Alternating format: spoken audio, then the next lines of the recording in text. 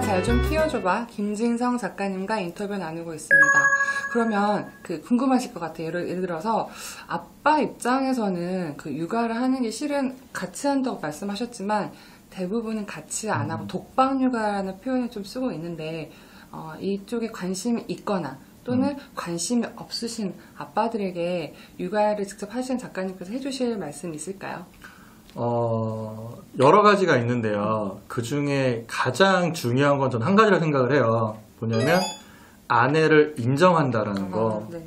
그러니까, 맞벌이를 하면 사람이 그래도 조금 인정을 해요. 돈도 벌어오고 하니까. 근데, 맞벌이를 안 하게 되면, 집에 있는 사람을 인정을 좀 안 하시는 것 같아요. 아, 그러니까, 농담으로라도, 아, 집에서 애 보는데 뭐 하냐? 뭐 이런 식으로 던질 수 있단 말이에요.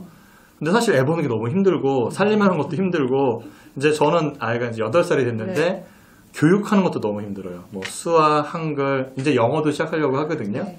그래서 돈이 많은 게 아니니까 어, 엄마표, 뭐 아빠표 음, 이런 걸 음, 한단 음, 말이에요. 근데 그게 너무 힘들어요, 진짜. 근데 그런 사람들 앞에 가갖고 너 집에서 뭐 하냐? 이래 버리면 음, 화가 나겠죠. 네, 네. 그래서 제가 생각을 해봤어요. 왜 그럴까? 그러면 아 남자 입장에선 저, 저 생각을 하겠죠. 아 이 사람이 집에서 돈을 못 버는 거구나. 그런 생각 때문에 아마 인정이란 부분을 아, 좀 덜 하는 거 네, 아닐까 네. 싶어요. 근데 제가 계산을 해봤는데 제가 지금 전업주부를 쉽게 탈피 못하는 이유가 뭐냐면 우선 제가 바로 일을 하러 가면 애 볼 사람 한 200만 원 주고 구해야 음, 돼요. 그쵸. 네, 네. 그다음에 뭐 살림도 만약에 안 하게 되면 50만 원, 100만 원 주고 음, 뭐 음, 가끔 살림하는 사람도 필요할 거고 그쵸. 그다음에 애가 그러니까 일보 아무리 돌봐준 사람이 있어도 제가 어떤 뭐 야근을 한다거나 뭐 출장을 간다 그러면 마음이 되게 불편해요. 지금은 저희 아내가 나 야근에 또 출장 가 이러면 그냥 가거든요. 근데 그게 쉽지 않단 말이에요. 그러니까 그런 것들 다 따져갖고 보니까 한 500만 원 있어야겠더라고요. 아, 아, 근데 500만 원이면 연봉 그 연에 6천만 원이죠. 실수령 6천을 받으려면 7,300만 원이어야 돼요.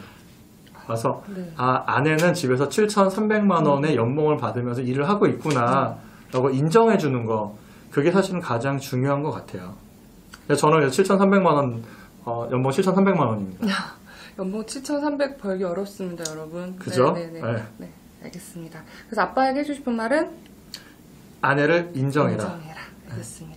이것도 작가님이 육아를 해보셨기 때문에 이렇게 얘기를 하시지 안 해보신 분들은 공감 못 하실 수도 있, 을것 같습니다. 그죠? 네, 네. 알겠습니다. 감사합니다. 네. 네.